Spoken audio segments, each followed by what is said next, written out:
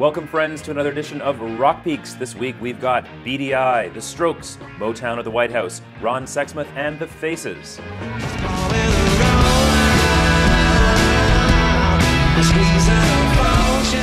Beady Eye are comprised of the remaining three quarters of Oasis, who decided to forge ahead under a new moniker when Noel Gallagher left the band in August 2009. This month marks the group's proper coming out with an album release, a string of live dates, and this TV special taped at London's famed Abbey Road studios.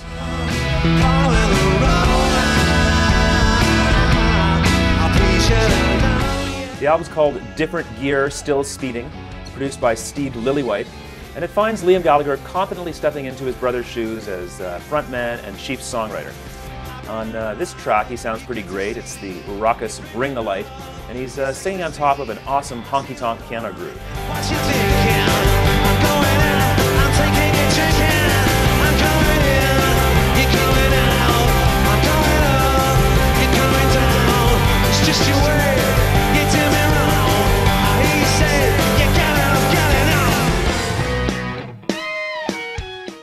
Back on the SNL stage for the third time, about to release their fourth album after a break of five years, the members of the Strokes stuck close to their garage rock formula for Under Cover of Darkness, the first of two tracks they played on the Saturday Night Live show. The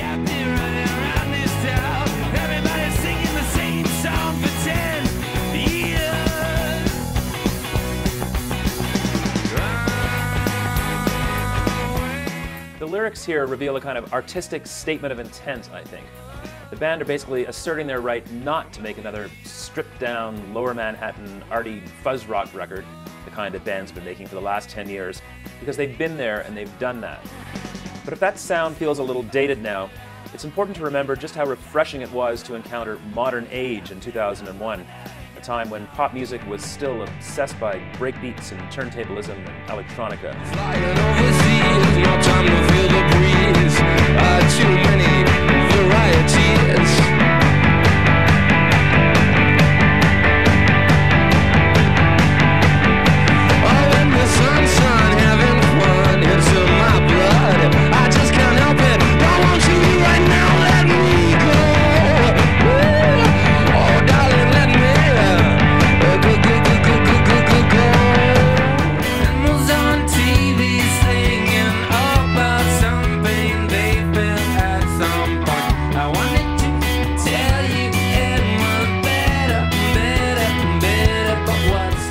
Their second SNL song, Life is Simple in the Moonlight, is one they hadn't played publicly before.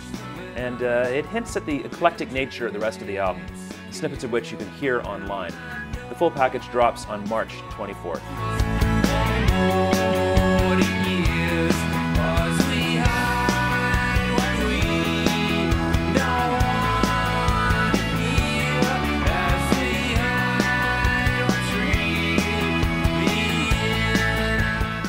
Obama's White House is on track to go down as the funkiest one in history, with yet another all star musical event taking place in the East Wing last week. This one a celebration of the Motown sound.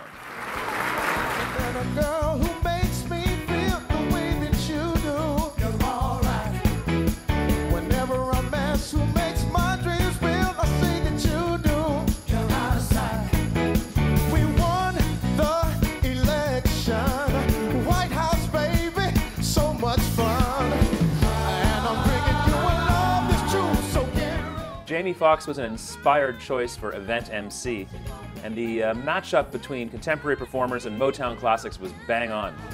Check out how incredibly Sheryl Crow channels Michael Jackson on I Want You Back.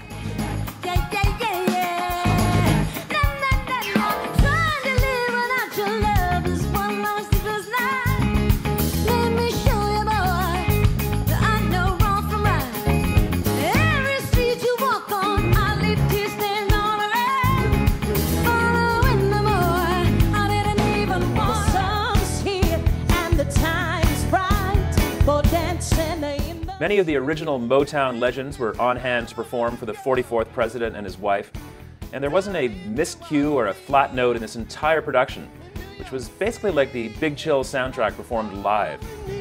This is the evening's final number, with uh, Martha Reeves herself joining the ensemble for a joyous rendition of Dancing in the Streets. Bring it? We've been grooving all over the world. Every and every girl.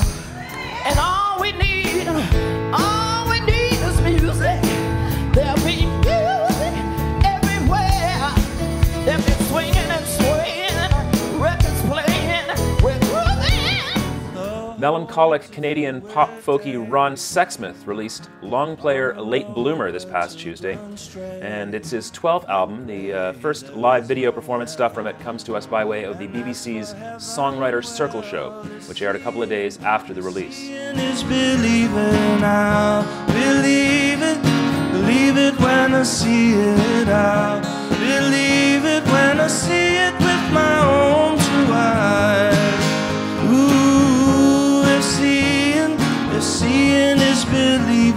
I'll believe it believe it when I see it I'll believe it when I see it with my own two eyes Now, mainstream commercial success continues to elude Sexsmith, though his uh, stature amongst fellow musicians has never been higher. Here's a little bit of what's probably his best known song, Gold in Them Hills, which uh, featured the vocal accompaniment of Coldplay's Chris Martin. But if we'd only open our eyes, we'd see the blessings in disguise.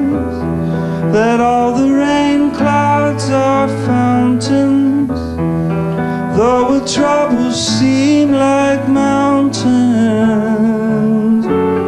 There's gold in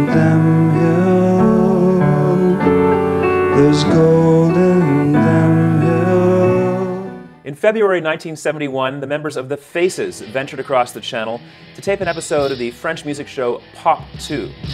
Among the songs performed was the Zeppelin-esque Around the Plinth, a Stewart and Wood pen track that featured on the first Faces album.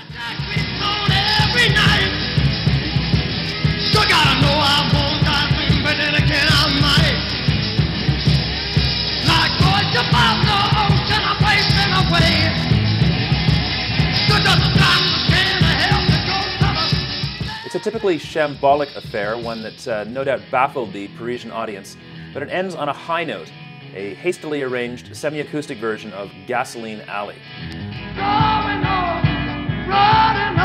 Down to gasoline alley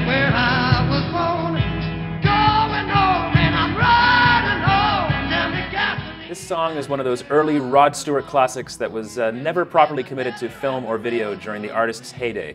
So this fragment is about as good as it gets. Enjoy this treat from the archives. I'm Barnaby Marshall. We'll see you in seven days on Rock Peaks.